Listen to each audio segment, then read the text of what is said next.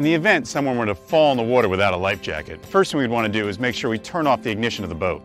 Next, we want to locate our throw cushion and throw line. We want to deploy that throw line and throw the cushion to the individual in the water. If you miss, you can retrieve that throw cushion and throw again. When the person in the water grabs the throw cushion, we can pull them back to the boat using the throw line.